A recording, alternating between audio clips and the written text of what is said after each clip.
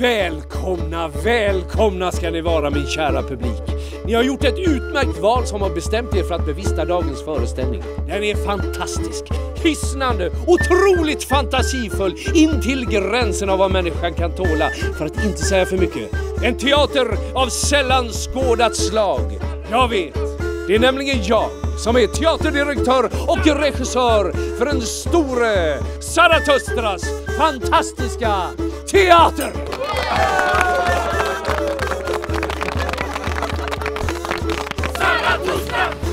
Är ni klara? Ja.